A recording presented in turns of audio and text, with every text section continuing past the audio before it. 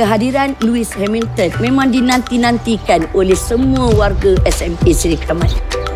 Sekolah kita merupakan sekolah anugerah lestari alam sekitar.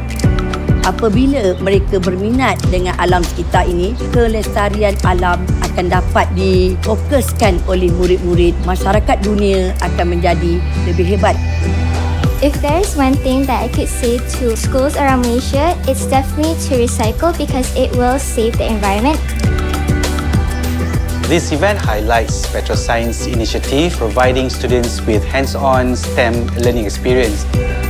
The aim is to instill the principles of circular economy and promote sustainability. I feel very proud of myself for conducting this experiment with the Petrosains. I'm very thrilled and excited to gain new knowledge from them. He is in the room with you, Sir Lewis Hamilton.